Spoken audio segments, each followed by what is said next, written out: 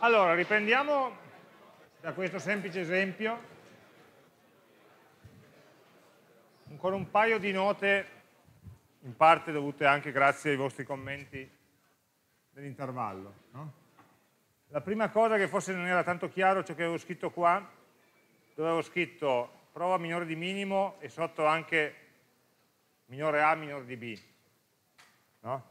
Eh, L'avevo scritto qua sotto, ma non era, volevo dire che o scrivo questo o scrivo l'altro, non che dovevo scrivere tutte e due una dopo l'altra, no? quindi sono due modi, lo scrivo adesso qua sotto così forse è un po' più chiaro, due modi diversi di verificare la stessa condizione.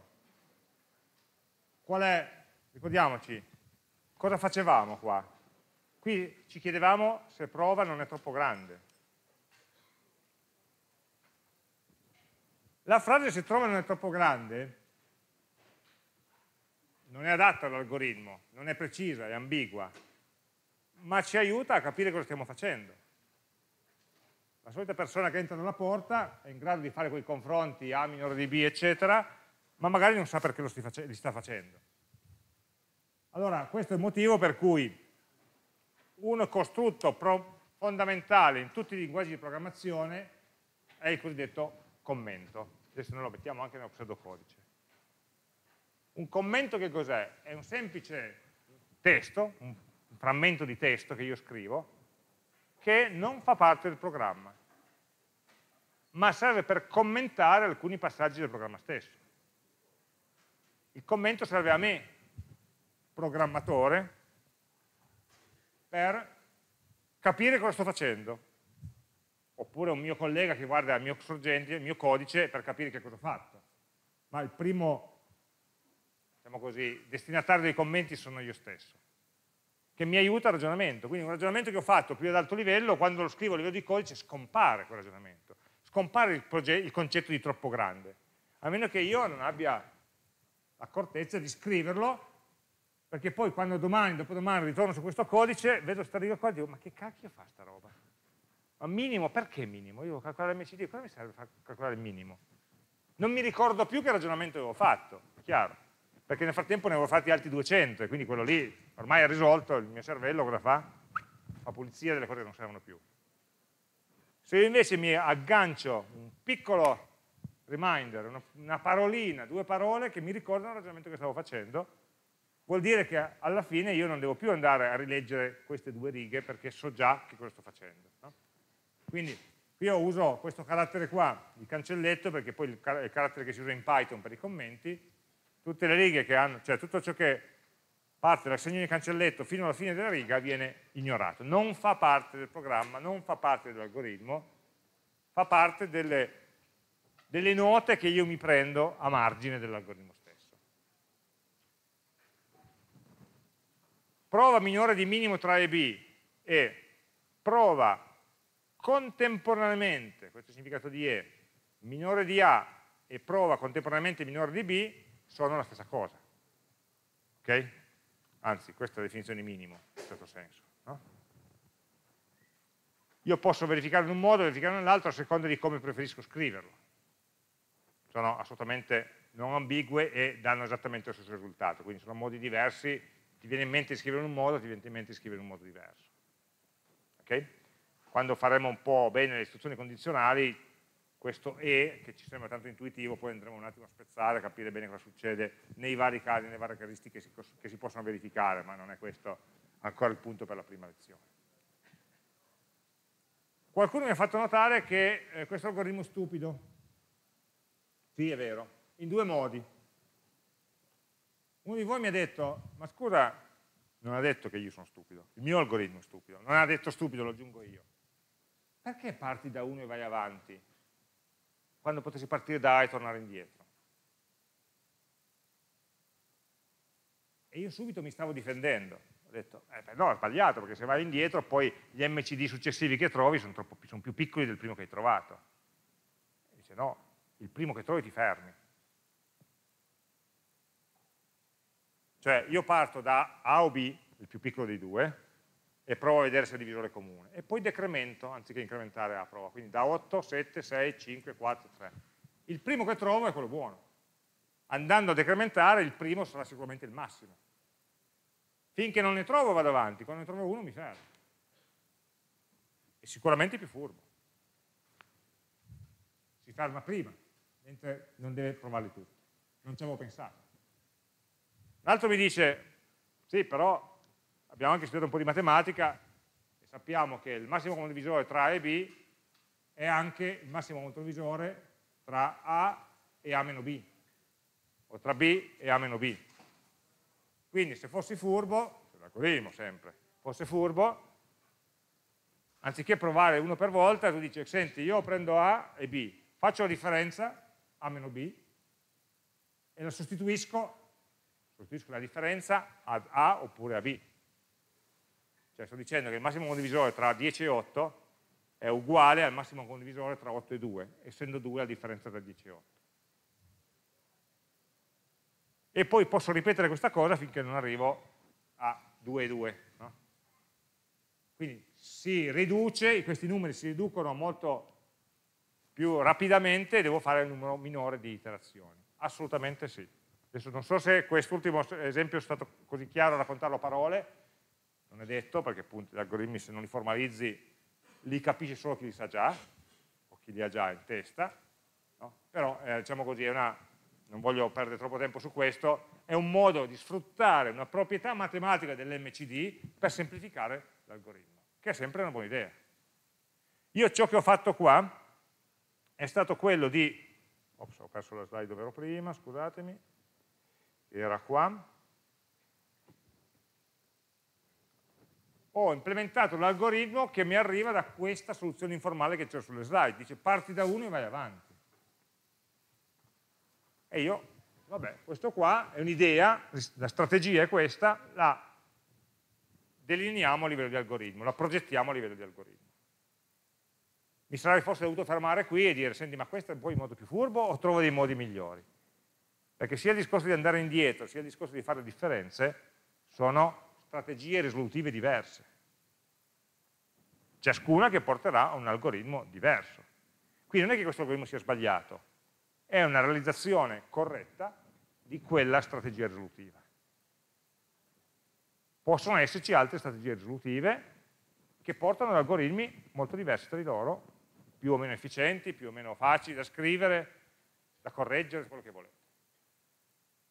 Okay? Quindi per un problema semplice come questo, già abbiamo visto che ci sono tre strategie risolutive diverse, e poi a livello di descrizione dell'algoritmo probabilmente anche lì ci, varie, ci possono essere vari modi no, di descriverlo, l'abbiamo già visto in alcuni, no, alcuni, ragionamenti che abbiamo fatto. Quindi veramente lo spazio di, di, di, di, ricerca in cui andare a trovare soluzioni ai nostri problemi è enorme, vastissimo. No? Ognuno di noi vede una soluzione, una strada per arrivare alla soluzione e prende quella strada lì. Se a metà ti confronti con un altro, no? rischi di fare come facevo io prima, quando mi ha detto guarda che devi decrementare, e io ho detto no, non è vero, ma perché nella mia testa avevo quel ragionamento che avevo fatto io, mentre un altro deve fare un ragionamento diverso. Immaginate il piacere quando io mi trovo 200 compiti da correggere, ognuno ha cominciato a fare un ragionamento diverso, e io non posso neanche farmi raccontare il ragionamento, devo capirlo dal codice scritto. Però questo è il bello. No? Ciascuno porta avanti il proprio ragionamento e arriva alla fine. E questo è l'altro motivo per cui quando mi fate una domanda, ma questo come si risolve? Io non vi dico mai come si risolve, perché la domanda è sbagliata. Io al massimo vi potrei dire come lo risolverei io in quel momento. Ma la domanda vera da fare è io, io ho provato a risolverlo così e non mi viene, e mi sono bloccato, e non capisco a questo punto come risolverlo, e non so se ho preso la strada giusta. E allora ragioniamo sul vostro ragionamento. No? Questo è l'unico modo. Dovete da, no? condividermi il vostro ragionamento e non viceversa. Mm. Ok, finito il pippone.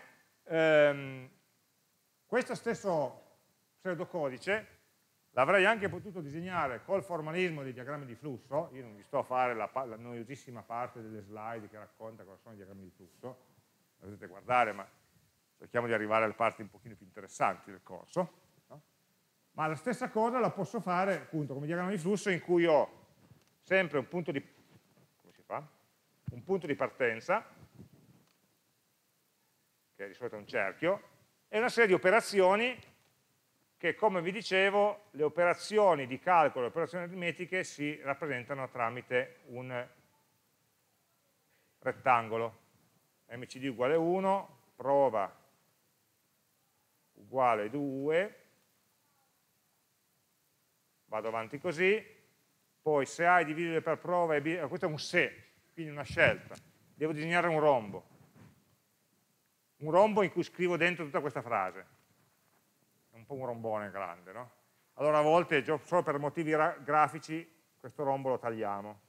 Facciamo i lati del rombo, ma poi disegniamo un esagono allungato. Immaginatevi il rombo a cui ho tagliato la testa e la coda perché mi portava via troppo spazio, no?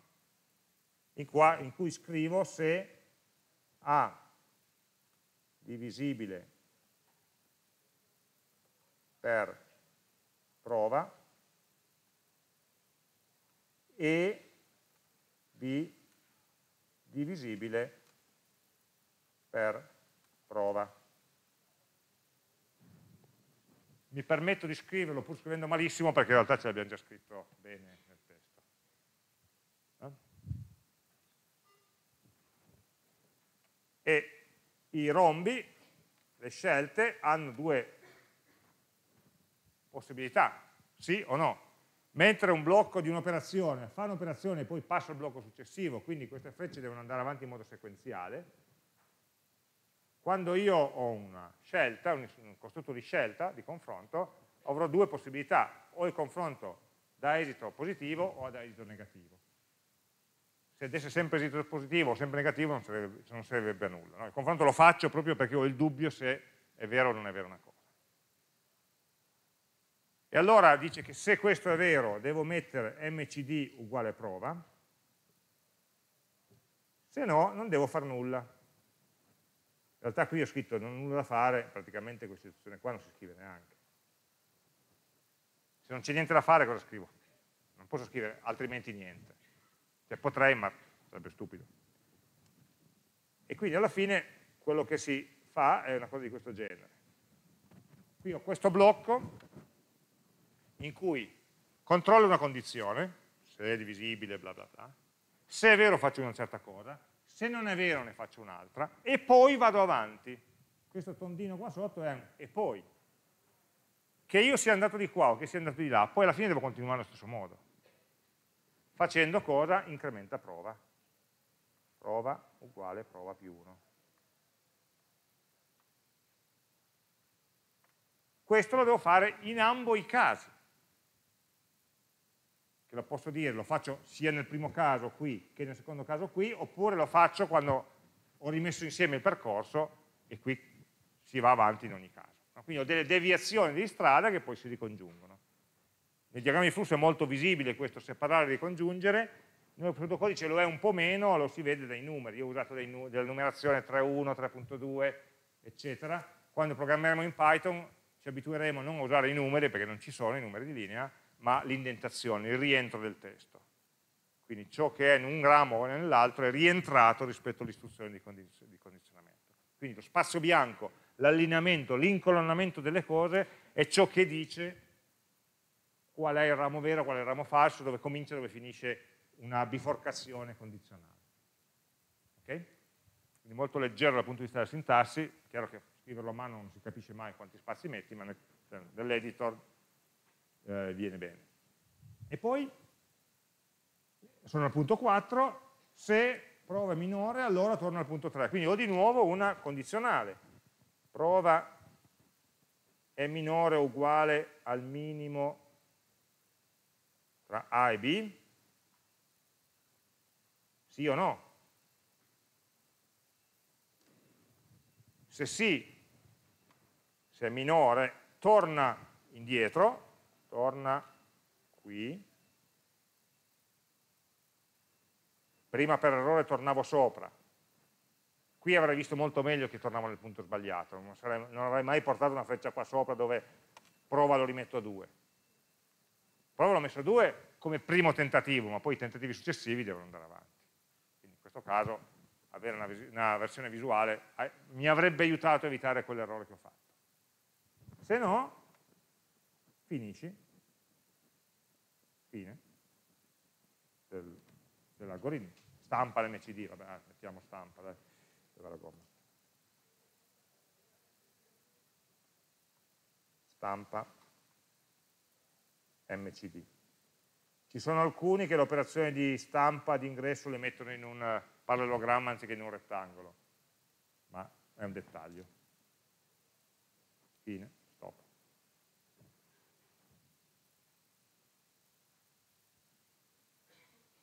È la stessa cosa.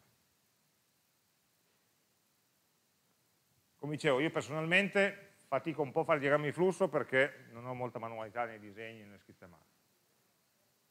E poi, come dire, il, un, uno pseudocodice scritto a, a, computer è più facile da manipolare. Aggiungo, aggiungo, una riga in mezzo, correggo, eccetera, mentre una cosa scritta come il disegno, se devo, ah, mi sono dimenticato un pezzo, allora devo aggiungere una cosa qua in mezzo, o rifaccio il disegno, se no... Però concettualmente c'è la stessa identica informazione allo stesso identico livello di astrazione, livello, di, livello concettuale, quindi sono due strumenti assolutamente identici. In entrambi riconosciamo sempre i cinque ingredienti di prima. Le operazioni che faccio, quindi operazione di calcolo, prova più 1, operazione di confronto, minore o uguale, è divisibile, Operazione di scelta, prendo, divido in due e poi li congiungo grazie a un rombo. E operazioni di ripetizione, faccio una certa cosa, poi torno indietro, quindi faccio qualcosa e torno indietro. E ovviamente, visto che non voglio creare cicli infiniti, al fondo dovrò dire, ma guarda, è il caso di tornare indietro oppure ho finito.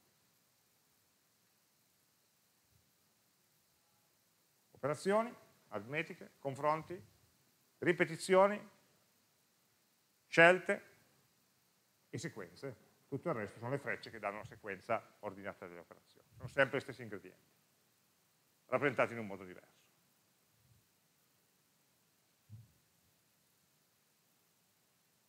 Dimmi.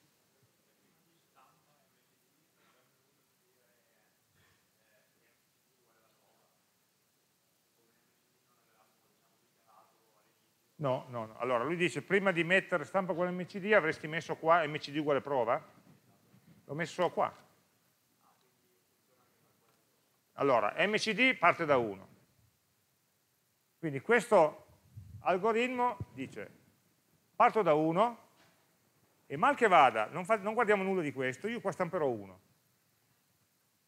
A meno che in tutto questo giro che ho fatto abbia trovato almeno un caso in cui prova divide sia A che B contemporaneamente, e allora a questo punto ho rimpiazzato al valore 1 che ci avevo messo dentro questo MCD, lo rimpiazzo col valore nuovo che ho. Quindi io quando stampo questo MCD stampo sempre un valore valido. O è l'1 che ci avevo messo dentro all'inizio, come paracadute, come se non riesco a fare nulla di meglio, 1 va sempre bene, oppure quest'altro. La cosa carina è che il valore che stampo qui non, non posso dirti a priori se è quello che ci ho messo dentro qua o se è quello che ci ho messo dentro qua. Non posso saperlo. Anzi, l'algoritmo serve proprio per scoprire quale. Okay? L'importante è che quando arrivi qua in fondo sia, garantisca al 100% che lì dentro ci sia un valore e magari anche quello giusto. Ecco, cioè e non deve esserci nessun caso in cui arrivo lì senza aver dato un valore a quella variabile, a quel, a quel simbolo MCD. Okay? Poi tra l'altro questo MCD viene, parte da 1, viene aggiornato col 2, ma magari viene a sua volta aggiornato col 5, aggiornato col 7, aggiornato col 12, a seconda dei numeri, può essere aggiornato più volte. Man mano che ne trovo uno migliore, con questo algoritmo qua che va in crescendo, man mano che ne trovo uno migliore, lo aggiorno. Quindi in un certo senso, ne approfitto, per citare l'uso particolare che si fa in informatica delle variabili, poi lo vedremo più formalmente in Python la settimana prossima. Però se qualcuno ha sbagliato orario, entra in quest'aula pensando che ci sia matematica e vede scritto prova uguale prova più 1, dice questi sono matti Come fa a essere uguale, x uguale x più 1? Non è uguale, non può esistere, sbagliato, questo qua non capisce niente. Okay? Il segno uguale che si usa in informatica non ha nulla a che vedere col segno uguale che si usa in matematica. In matematica quando è scritto uguale faccio un matrimonio. Se io scrivo che y uguale x più 3, nel momento in cui l'ho scritto, ho detto una verità assoluta, universale, che vale in tutti i pianeti dell'universo, dal tempo del Big Bang fino alla fine dell'universo stesso. Vale sempre, è un'identità che io impongo con quel segno di uguale. Ok? In informatica non abbiamo tutte queste pretese. Noi stiamo dicendo, senti, prova vale 5, fai 5 più 1, il risultato fa 6, e allora adesso prova a farlo diventare 6, non più 5. Cioè i valori delle variabili sono per noi tutti valori temporanei, istantanei, mai universali. Quindi io non sto dicendo che prova è uguale a prova più 1, sto dicendo prendi prova, quanto vale vale, somma C1 e il risultato sostituiscilo al valore precedente che aveva prova. Così quando scrivo mcd uguale prova, sto dicendo prendi il valore che c'era dentro mcd prima, buttalo via, non mi serve più, perché adesso ne ho trovato un altro più bello da metterci dentro. Il valore temporaneo che aveva mcd prima poteva essere 2, adesso ho trovato 7 e quindi butta via il 2 e mettici 7. Lo vedremo meglio formalmente la settimana prossima, come vi dicevo, però giusto per entrare nel, nella mentalità che questi non sono simboli assoluti, l'uguale non è l'uguale matematico, ma sono semplicemente dei nomi, dei simboli, che si ricordano dei valori fino a quando non ci servono. Prima dicevamo, l'output di un'operazione diventa l'input di quella dopo. Come fa un output di un'operazione a diventare l'input di quella dopo? lo salvo da qualche parte temporaneamente, gli do un nome per poterlo ricordare, per poterlo riprendere dopo. Questo nome è prova, questo nome è mcd, eccetera. Ok? Quindi cerchiamo di non leggere no, i simboli una, eh, appartenendo a materie che non, ci, che non sono queste.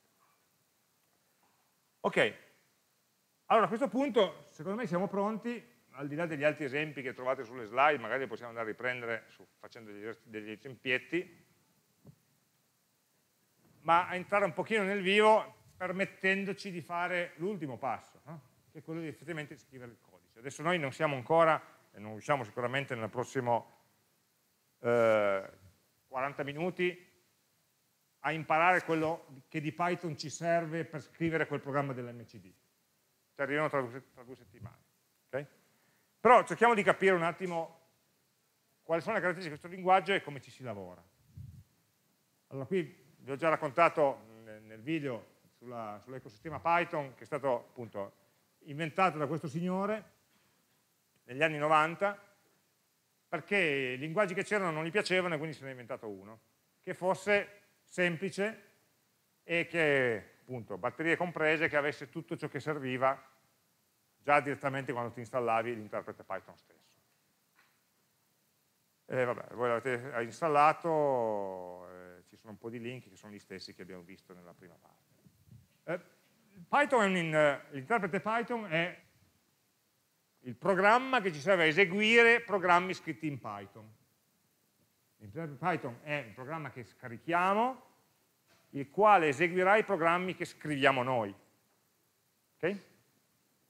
L'interprete Python è un programma anche lui, ma quello l'ha scritto qualcun altro. Noi scriviamo i nostri programmini che sono molto più umili, che essendo scritti in Python non possono essere eseguiti direttamente dalla CPU, come dicevamo l'ora prima, devono essere mediati, tradotti da un altro programma che li traduce, che è appunto l'interprete Python, quello che abbiamo scaricato qua dal sito python.org oppure dall'App Store di Windows. Esegue i programmi scritti da noi. E noi questi programmi come li scriviamo? E li possiamo scrivere non a mano su un foglio di carta, ma all'interno di un ambiente di sviluppo che ci permette di scrivere i programmi. Basterebbe un qualunque blocco note, un qualunque editor di testo. Un programma scritto in Python è semplicemente un programma di testo testo puro. Ok? Testo puro vuol dire prendete WhatsApp e toglietevi le faccine. Quello è testo. E le immagini. Non c'è grassetto, non c'è colore, non c'è dimensione del font, eccetera, eccetera. Quello è un testo puro che può essere scritto con qualunque editor di testo. Quindi non scriverei un programma con Word, perché lui fa tutte le impaginazioni, i font, eccetera, che non servono, sono inutili. Anzi, non ci devono essere. Okay? Ehm, ci sono vari, appunto, a partire dal blocco note proprio eh, di, di, Windows, che può essere usato no, per scrivere anche programmi in Python, poi li salvi e poi li esegui, li fai eseguire dall'interprete, vediamo poi come. Il problema è che se usassi il blocco note avrei tutta una serie di passaggi manuali, scrivo il programma, lo devo salvare, poi prendo l'interprete Python, glielo faccio eseguire, eccetera, eccetera, che devo fare a mano, si può, ma è un po' scomodo, e in più l'interprete, cioè il blocco note, non sa nulla di Python. Quindi se io scrivo un'istruzione che in Python è sbagliata, che frega, quello è un blocco note, un po' come scrivevo le note prima, no? Ho scritto un programma diverso, ma io qua posso scrivere qualunque cosa. Non è in nessun linguaggio, è un documento di testo qualunque. Ecco, piuttosto che scriverlo in un programma che non capisce nulla, si, si sono sviluppati dei programmi che vengono chiamati ambienti di sviluppo integrati, Integrated Development Environment, che ci permettono e di scrivere in un linguaggio di programmazione capendo cosa sto scrivendo, cioè l'editor capisce cosa sto scrivendo, mi aiuta tipicamente colorando la sintassi, evidenziando alcuni errori, mi aiuta a scrivere meglio, e poi mi dà delle facilitazioni tipo un bottoncino per far partire il programma, per eseguirlo, per debuggarlo e così via. Quindi per eseguire programmi in Python basterebbe l'interprete Python e il blocco note. Per farlo in modo più comodo ci scarichiamo un ambiente di sviluppo e in questo caso usiamo l'ambiente di sviluppo che vi abbiamo suggerito, è Visual Studio Code, che è quello che poi ci sarà, troverete nei laboratori, troverete all'esame. Quindi tecnicamente io qua ho fatto l'esempio dove ho un programma scritto col blocco note e poi rimane lì, rimane un file di testo salvato sul mio computer. Per poterlo eseguire devo prendere una finestra di comando, scrivere Python spazio, nome del file e lui lo esegue. Però un po', un po scomodo, no?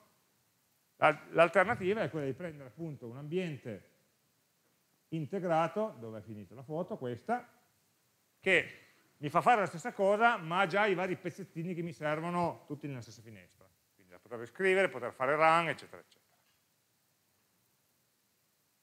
E questo è l'esempio di, di Visual Studio Code, no? che, che, usiamo noi, questa qui di ideata. Proviamo a fare un po' la conoscenza di questo signore. Eh, io provo a riavviarlo perché, e, e costruiamo un progetto da zero così vediamo un po' quali sono le operazioni di base. Adesso qua, scusate, fatemi chiudere il progetto che avevo aperto, dov'è close? Ok. Quindi Visual Studio Code salta fuori come un programma di questo genere, al primo avvio, e come prima cosa ci chiede, cioè ci chiede, ci chiede niente noi vogliamo creare un progetto dentro cui scrivere il nostro primo programmino. Dobbiamo crearlo all'interno di un file che conterrà le istruzioni Python, che poi andremo a imparare la sintassi. Il programma devo scriverlo da qualche parte dentro un file. Questo file sarà salvato in una cartella. Quindi quello che si fa come prima operazione è di aprire una cartella all'interno della quale ci saranno i miei programmi, metterò i miei programmi.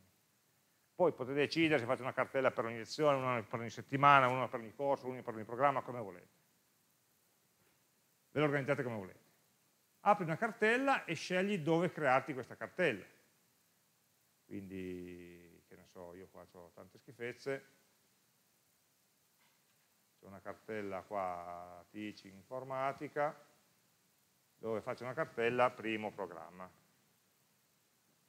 mettiamoci anche uno spazio. Ho creato la cartella e poi gli dico seleziona questa cartella qua. Quindi ho aperto, diciamo così, un progetto, una cartella nella quale posso scrivere dei programmi. Lui in questo momento lui non sa ancora che li scriverò in Python, per ora ho semplicemente aperto una cartella. All'interno di questa cartella posso creare dei file o delle sottocartelle.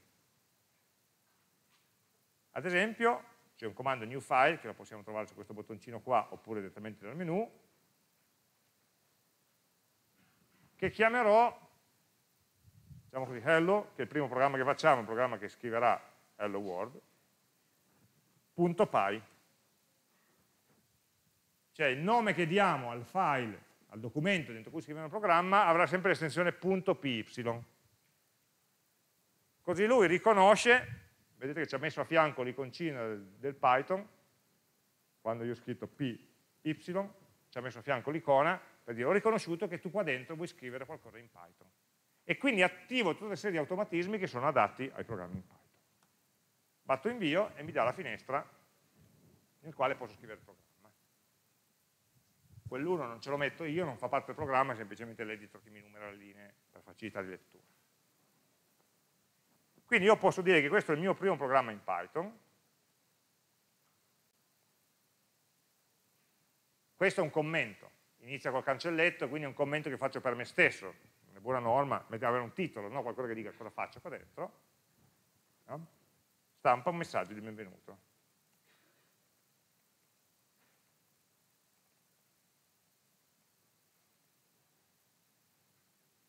Se io scrivessi stampa un messaggio di benvenuto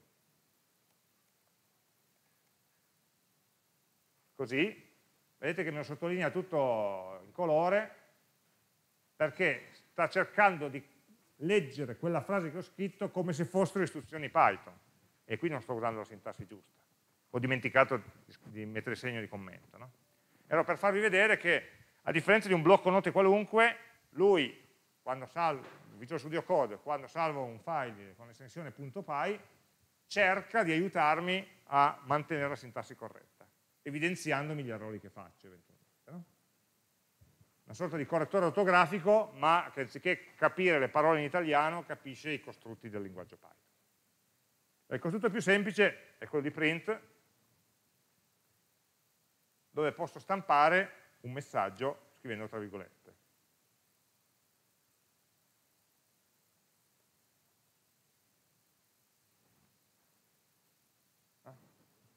In questo caso abbiamo un programma di tre righe, di cui una sola è un comando Python, un'istruzione Python.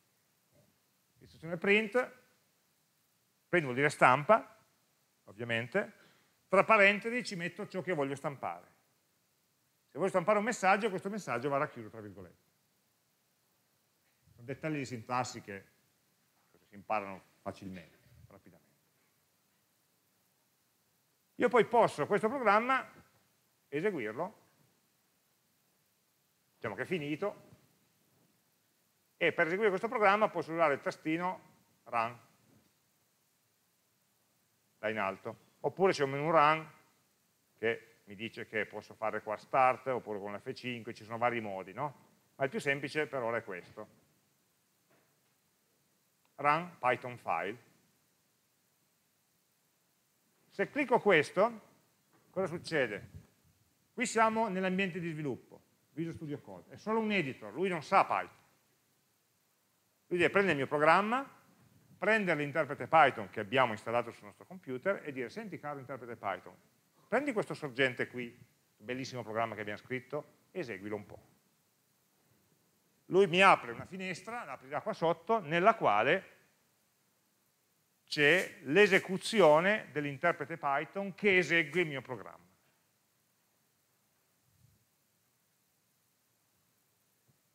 Uh, in questo caso lui mi dice, vedete che c'è un messaggio che si prova a far run adesso, ok, mi stampa buongiorno. Qui c'è sotto, in realtà non me l'ha scritto, a volte se non trova immediatamente, perché cosa succede? Che Visual Studio Code deve eseguire il programma Python, l'interprete Python.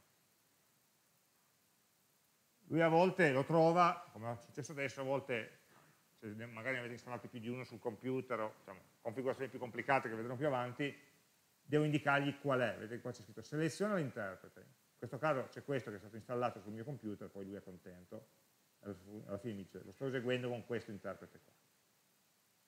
Quindi qua in basso a destra, anziché se vedete un messaggio di errore come era prima, ci cliccate sopra e lui vi fa vedere quali sono, dovrebbe essere uno solo, gli interpreti Python che avete installato sul vostro computer, io ho selezionato e lui è contento perché sa che deve eseguire quello. Ogni volta che faccio run, lui vedete, se ingrandisco per leggere meglio cosa c'è sotto, lui ha, ha, dato un comando complicatissimo che dice guarda vai a prendere python.exe che è l'interprete Python, avvia l'interprete Python e passagli come parametro hello.py che è il file che devi eseguire.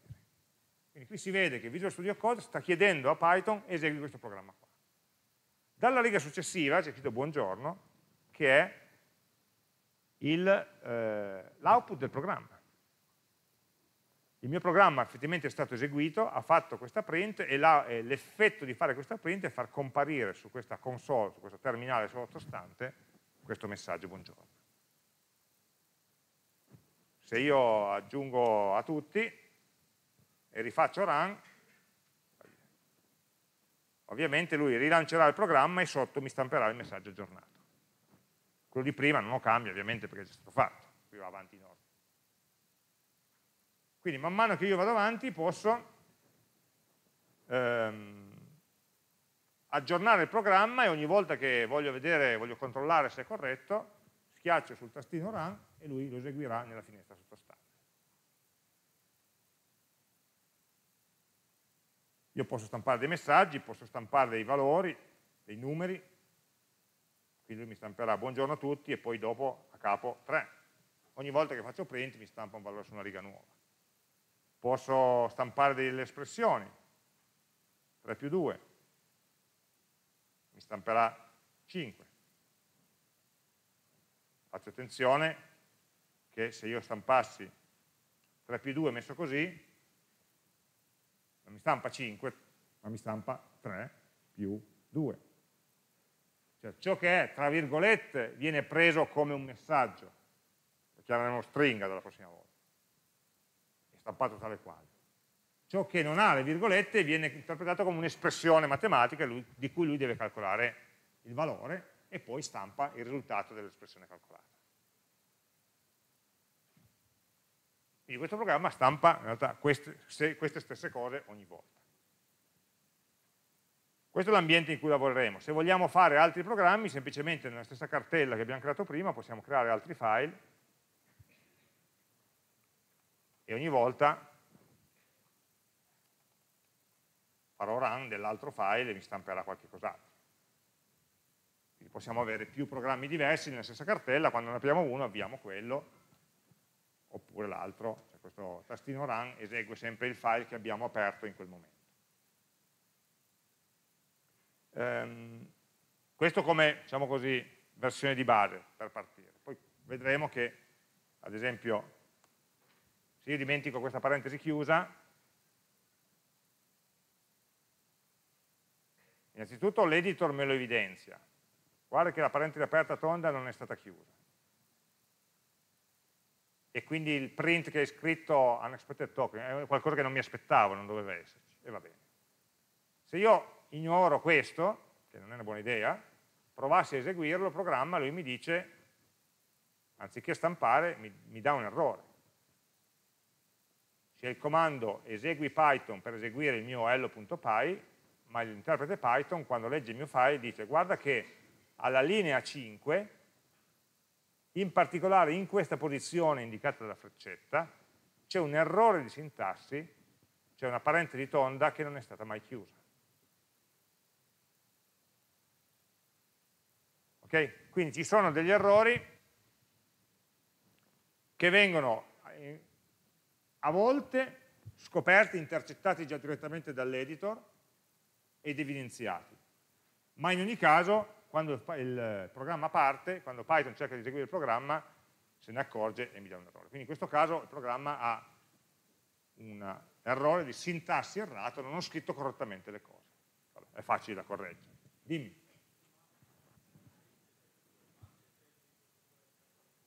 Sì, abbiamo tutta la potenza di calcolo delle quattro operazioni. No, eh, posso scrivere, se lo vedremo meglio, eh, posso scrivere espressioni, espressioni anche complicate e lui chiaramente me le calcola.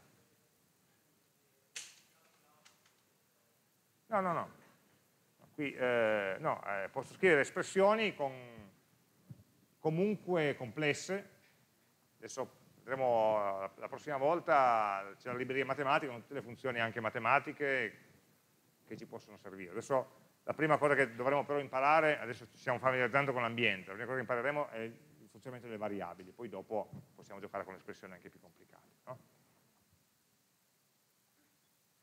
Um, Ok. Questo è l'ambiente Visual Studio Code. Per, per lavorarci dobbiamo, dobbiamo, aver installato sul nostro computer Python, Visual Studio Code e aver creato una cartella in cui mettere i nostri programmi. Se uno vuole fare una cosa al volo, vabbè, qui sono le videate di quello che abbiamo appena fatto, eh, qui ci torno, se vogliamo fare una cosa al volo possiamo anche usare questo sito che si chiama replit.com che essendo un sito online non richiede di installare nulla.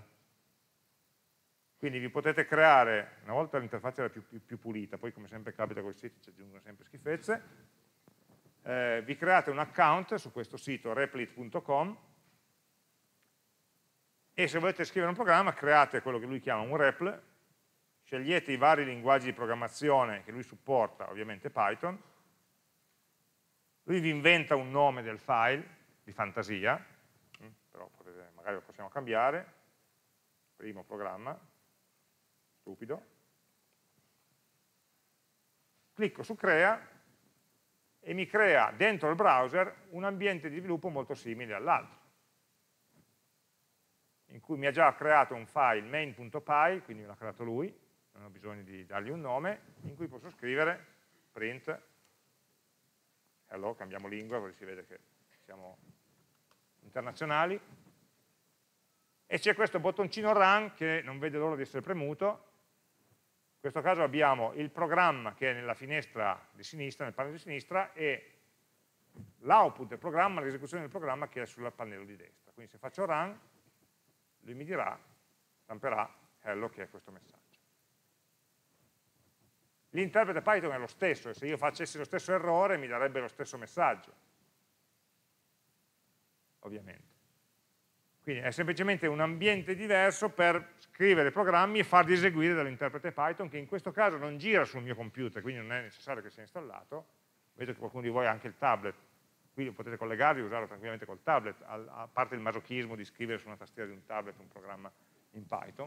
Ehm, però funziona e eh, rimane ovviamente salvato su questo sito, quindi se volete poi averlo ve lo dovete scaricare o ovviamente se fate l'account ci salverà i vostri programmi con i nomi più, più, o meno di fantasia. Ma la cosa è esattamente la stessa, funziona esattamente nello stesso modo. C'è anche? C'è anche l'app, sì, sì. Quindi eh, se uno è doppiamente masochista, no, l'app lo può mettere sul tablet oppure anche sul cellulare, in cui effettivamente sul tram, mentre sei sballottato, devi fare aperte virgolette. No, no, no assolutamente. No? Sono, le soluzioni sono, sono moltissime. E... Questo per quanto riguarda l'esecuzione di un programma. Ok, scrivo un programma, schiaccio run e lui parte e arriva fino in fondo se non ci sono errori.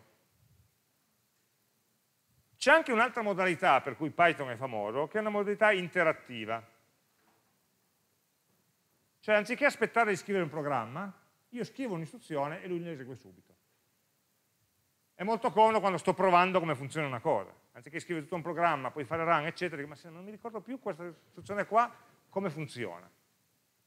No? Lui dice, ma oltre che la somma puoi fare la moltiplicazione, proviamoci però non è che sia un programma apposta. Allora, per farlo ci sono, come sempre, tanti modi. Eh, il più diretto, usando Visual Studio Code, scusate ho perso la finestra, premendo in Visual Studio Code molti comandi sono...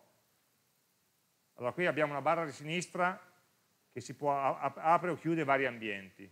Il primo ambiente è quello più utile che contiene l'elenco dei file del progetto. Il secondo è la ricerca, ricerca sostituisci, alcuni degli altri probabilmente non li avrete, dipende dalle estensioni che uno ha installato su, su, su Visual Studio Code. Questo è il bottone di, di debug, quindi quando impareremo a fare debug useremo questa videata qua, questo pannello, e cambia le funzioni che vedi su questo pannello, essenzialmente, questi vari eh, ambienti. Alcuni comandi quindi li trovate qua, in questi ambienti, alcuni comandi li trovate nel menu, adesso riduco un po' lo zoom perché se non si vedono tutti, ma la maggior parte dei comandi li trovate in questo barra di ricerca all'inizio, che, che è una ricerca unificata che permette di ricercare tra i comandi possibili i file, i contenuti dei file, la documentazione, eccetera, eccetera. Si può cliccare sopra, oppure più direttamente, se vogliamo dare un comando, F1. Il tasto F1 mi permette di selezionare, cercandoli, i comandi dell'editor di Visual Studio Code.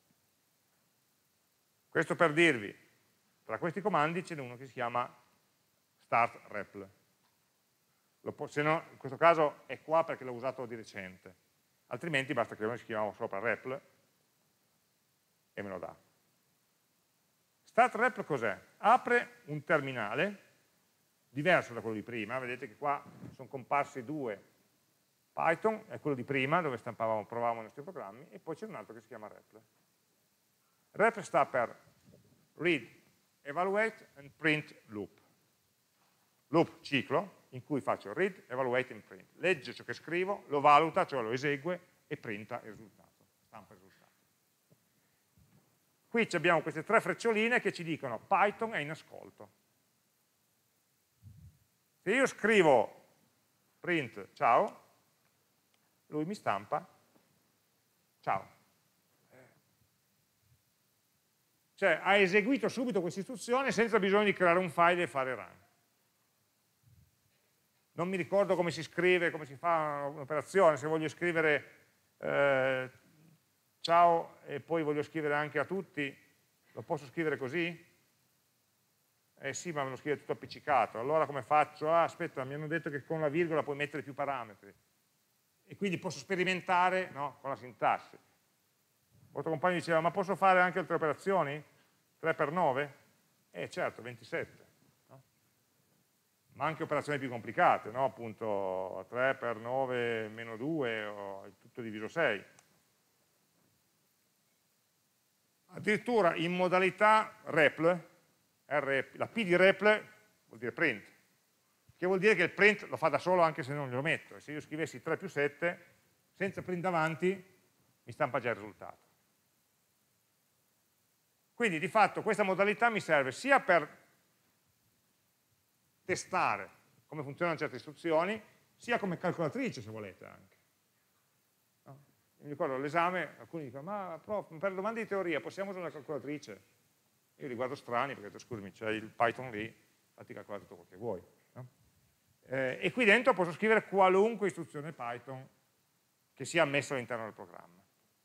Quindi questa modalità interattiva è molto utile, eh, sviluppo il programma, poi non so bene come si scrive un'istruzione, voglio fare una prova, posso semplicemente aprire una finestra, ce l'ho lì a disposizione in tutti i momenti e la posso utilizzare.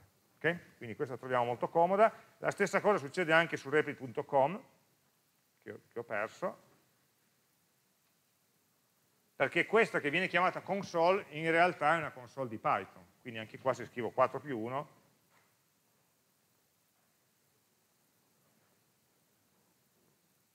ho rotto internet, ah no scusate, questa non è, devo fare, ah, non mi ricordo più come si fa, perché ogni tanto lo cambiano,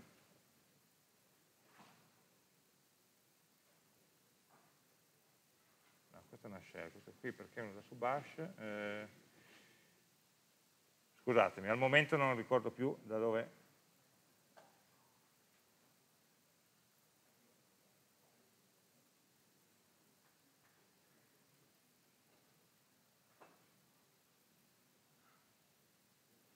Vabbè, ve lo dico la prossima volta, non voglio perdere, farvi perdere tempo adesso, possibile anche qua aprire una, ricordavo che fosse qua, ma forse perché c'era, aspetta, fammi fare adesso, no, si può anche fare la stessa cosa online con lo stesso, con lo stesso scopo. Esiste anche, e lo aggiungo ancora come ultimo elemento, ultimo ambiente no, cui, che useremo per fare eseguire i nostri programmini, un sito che si chiama Python Tutor, che è molto più spartano e molto più brutto da vedere, ma lo useremo spesso, almeno nelle prime settimane del corso, perché ci permette di vedere dentro Python. Cioè di vedere in modo grafico, come questa figurina qua, come il Python eh, memorizza i dati. E quindi ci aiuterà molto a capire come sono fatte le strutture dati avanzate. Basta che voi andiate qua su questo pythontutor.com selezioniamo Python. E poi eh, mettiamo il nostro codice. Eh,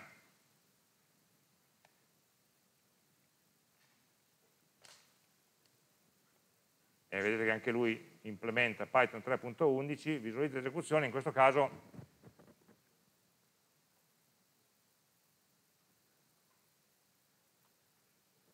mi ha stampato da qualche parte che non trovo più,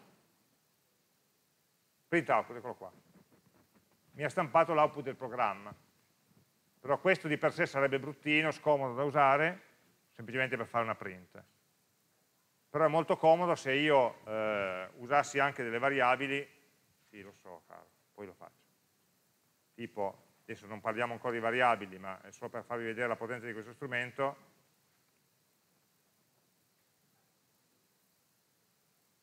e mi fa vedere quando lo eseguo che c'è una variabile che si chiama A e il cui contenuto è il messaggio ciao che poi in realtà è stato stampato. Quindi quando ho più variabili, immaginate l'esercizio di prima dove avevamo una variabile che si chiamava mcd e un'altra che si chiamava prova e a volte non, tanto, non era no, facilissimo capire cosa facevano queste due e qui si può andare avanti passo passo e ti visualizza effettivamente il valore delle singole variabili. Quindi questo è l'ambiente sono gli ambienti all'interno dei quali lavoreremo, principalmente, principalmente ovviamente eh, quello di Visual Studio Code, e se vogliamo come esempio abbiamo usato una prima istruzione Python che è data dalla funzione print. Quindi per ora siamo capaci a fare programmi in Python usando un'istruzione sola, print, però vediamo un po' come sono descritte queste istruzioni. In questo caso print è una funzione che ha l'effetto, quando viene usata, di visualizzare ciò che viene passato tra parentesi come argomento da stampare. E in particolare la sintassi dice che io posso scrivere print senza nessun valore, e lui mi stamperà una riga vuota, oppure con uno o più valori separati da virgole. No, quindi qui fa vedere ad esempio che stampa un messaggio, virgola 6 più 7, virgola punto esclamativo. Cosa fa questa istruzione? Ce lo facciamo dire dalla REPL, visto che ce l'abbiamo aperta, print risultato, chiusa virgolette, virgola 3 più 7, non mi ricordo più che numeri ci fossero di là, ma fa lo stesso, punto esclamativo. Quindi ho chiamato la funzione print con tre valori, con tre argomenti, e questi vengono stampati tutti e tre sulla stessa riga, separati da uno spazio, vedete che qua c'è uno spazio qua c'è uno spazio, e in ciò che ho scritto qua non c'era nessuno spazio. Questo mi serve perché se voglio veramente stampare tre valori, anziché scrivere 1, 2, 3, che sarebbe tutto appiccicato, mi fa 1, spazio 2, spazio 3. Quindi ogni volta che vogliamo visualizzare nell'output i risultati di un'operazione, possiamo usare la funzione print a cui passiamo due tipi di valori, per ora due tipi di valori, o un messaggio, una stringa, tra virgolette, oppure un'espressione numerica, poi in realtà impareremo che ci sono altri tipi di espressioni anche sulle stringhe stesse, che viene calcolata ed eseguita questa funzione print fa parte della, delle funzioni di base della libreria standard di Python. E tutte le volte che voglio usare una funzione della libreria di Python, la sintassi è sempre la stessa. Nome della funzione, parentesi, argomenti della funzione. Ci sono funzioni che non hanno argomenti, come la stessa funzione print, in cui posso non mettere nulla, ma devo comunque indicare la parentesi per indicare che sto chiamando quella funzione lì. In questo caso mi ha stampato una riga vuota. In questo caso la funzione print è una funzione che accetta come argomento una riga vuota. La funzione, che ne so, max, che è anche un'altra funzione che esiste, invece si arrabbia se cerco di chiamarla con zero argomenti, perché invece lei ne ha bisogno di almeno uno o due argomenti. Quindi ogni funzione si comporta in un modo leggermente diverso. La sintassi per usarla è sempre la stessa, nome della funzione, tra parentesi, gli argomenti, i valori su cui questa deve lavorare. Dimmi, prego. Per stampare una riga vuota, quindi quando devi stampare so, un titolo, riga vuota e poi i valori, per motivi puramente estetici oppure in realtà quando stampi tanti valori su righe diverse e poi alla fine vuoi andare a capo, allora un print senza nulla ti, ti porta sulla riga successiva. Ehm, quelli che abbiamo chiamato messaggi, buongiorno, hello world, eccetera, c'è delle porzioni di testo racchiuse tra virgolette, tecnicamente si chiamano stringhe. Non sono le stringhe delle scarpe, sono le stringhe di caratteri, sono delle sequenze consecutive di caratteri e in Python ci sono due modi di indicare una stringa, o racchiudendo, tre modi, adesso ne vedo due, o racchiudendo il contenuto tra doppi apici o tra singolo apice, cioè il carattere di apostrofo. È indifferente, ok? Potete usare o una o l'altra a seconda di cosa vi piace di più. Ok? è diverso rispetto a C o Java dove l'apice singolo rappresenta il carattere e l'apice doppio rappresenta la stringa. Qui è uguale, il tipo carattere non esiste in Python. È solo una questione di comodità. Io tendo a preferire gli apici singoli perché sono meno pesanti visivamente, ma mm, è assolutamente una, una preferenza personale. Um, Dopodiché il funzionamento della funzione print è proprio quella di prendere uno per uno i vari parametri, nel caso in cui siano stringhe stamparle tali e quali, nel caso in cui siano espressioni numeriche, calcolare il risultato dell'espressione e stampare il risultato stesso. Okay? In questo caso queste espressioni le stiamo calcolando con dei numeri, con delle costanti, possono essere costanti intere, costanti reali, eccetera, quindi non è che sia molto utile. Però in generale useremo poi delle variabili che ogni volta hanno dei valori che evolvono e poi potremo fare quindi delle espressioni aritmetiche che usano, che coinvolgono queste variabili. Abbiamo visto che nello scrivere un programma si possono compiere degli errori, prima abbiamo fatto un errore cretino, abbiamo dimenticato una parentesi tonda, possiamo dimenticare le chiuse virgolette. Gli errori che ho chiamato cretini sono i cosiddetti errori di sintassi. Cioè sbaglio nel modo in cui scrivo le istruzioni. Anziché print scrivo print,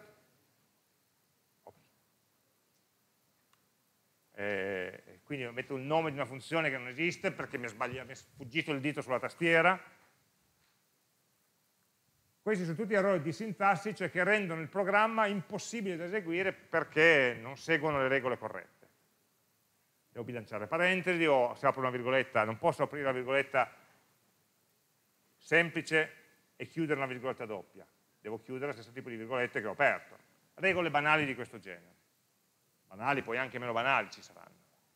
Ma sono gli errori più facili da riconoscere, da correggere, innanzitutto perché nella maggior parte dei casi se ne accorge già l'IDE, sicuramente al primo run me lo dice e si correggono facilmente.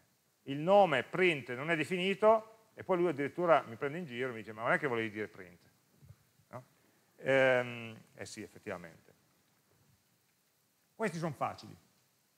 Vengono evidenziati perché non permettono a Python di continuare ad eseguire il programma. Poi ci sono gli errori subdoli, gli errori logici, in cui un programma sintatticamente è perfetto, è corretto, arriva fino in fondo e stampa una schifezza e calcola un valore sbagliato. Perché? Perché ho sbagliato io, ovviamente. No? Qui dei due, tra me e la macchina, l'unico intelligente sono io, umano, e quindi la colpa non la posso dare alla macchina. Mai, anche se sarebbe bello.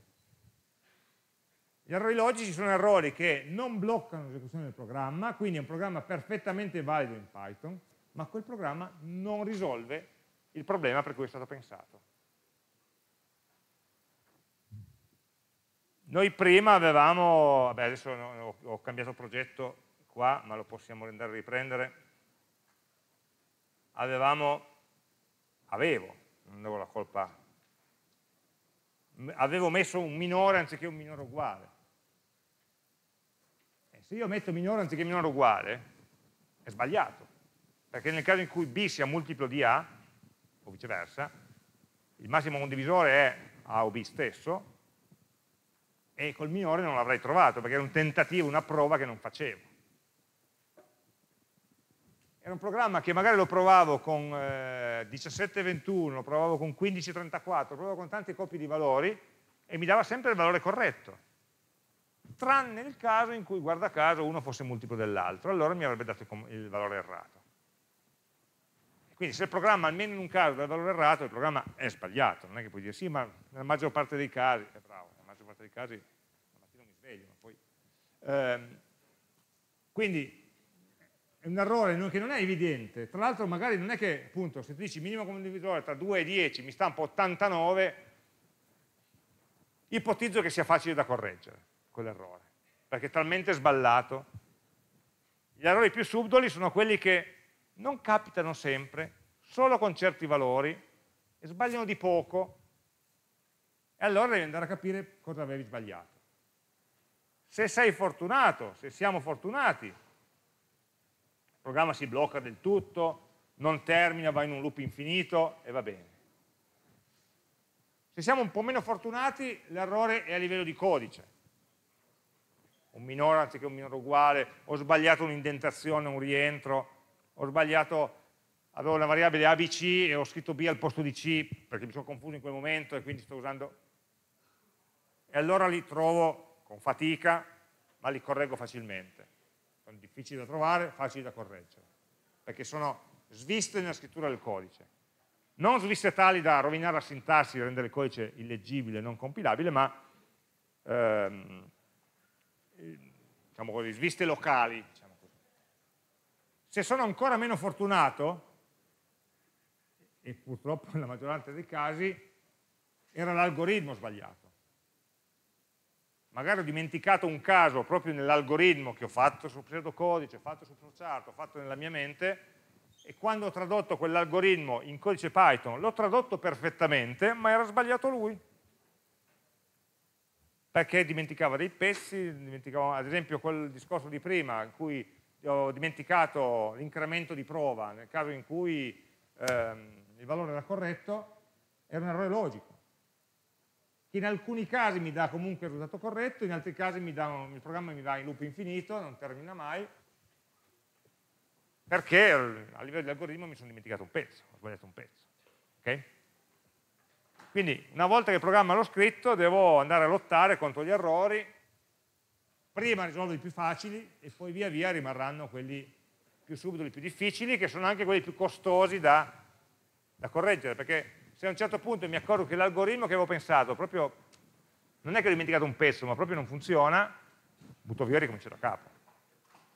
No, si spera di no, che con un po' di esperienza uno non debba proprio buttare via tutto, però ci accorgeremo che magari su programmi più complessi scriviamo una parte di programma e poi da lì non riusciamo a cavarci nulla perché abbiamo fatto delle scelte in precedenza, magari sul modo di memorizzare i dati, che alla fine non mi portano a soluzione non dobbiamo aver paura di dire lasciamo perdere, proviamo a ripensarlo da capo. A volte ripensare a mente fresca, sapendo i problemi che mi ha portato la versione precedente, mi può portare a un miglioramento. Questo fa parte del gioco, non ci deve spaventare, gli errori sono una parte normale del processo di sviluppo. Okay? Quindi diamo per scontato che gli errori ci saranno, delle varie tipologie, e diamo per scontato che dobbiamo imparare a gestire gli errori così come dobbiamo imparare a scrivere i programmi. È la stessa cosa, sono due facce della stessa medaglia. Ok, um, due avvisi rapidissimi. Entro venerdì noi pubblicheremo sul sito i testi dei laboratori, sul sito del corso, quindi dovete guardare il primo chiaramente, che si svolgerà la settimana prossima, mercoledì e giovedì, eh, e anche lì entro venerdì vi pubblicherò, poi vi avviso anche su Telegram, eh, le, i cognomi delle squadre in cui dividerci in laboratorio. Ok? Quindi la settimana prossima ricominciamo anche i laboratori. Grazie, arrivederci.